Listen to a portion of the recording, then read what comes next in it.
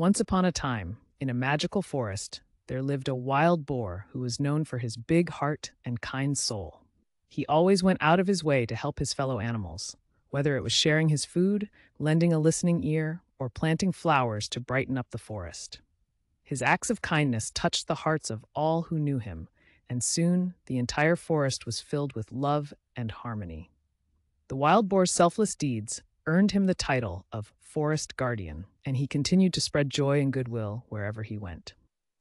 And so the moral of the story is that even the smallest acts of kindness can make a big difference in the world, and that by helping others, we help ourselves as well.